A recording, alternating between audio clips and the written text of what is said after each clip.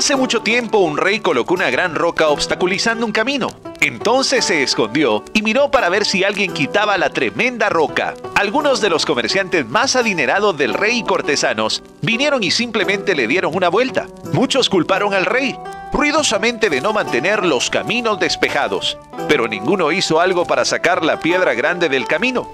Entonces un campesino vino y llevaba una carga de verduras. Al aproximarse a la roca, el campesino puso su carga en el piso y trató de mover la roca a un lado del camino. Después de empujar y fatigarse muchísimo, lo logró. Mientras recogía su carga de vegetales, él notó una cartera en el piso, justo donde había estado la roca. La cartera contenía muchas monedas de oro y una nota del mismo rey indicando que el oro era para la persona que removiera la piedra del camino. El campesino aprendió lo que otros no entendieron. Cada obstáculo presenta una oportunidad para mejorar la condición de cada uno. El consejo de la historia, mira cada obstáculo como algo que debe ser resuelto.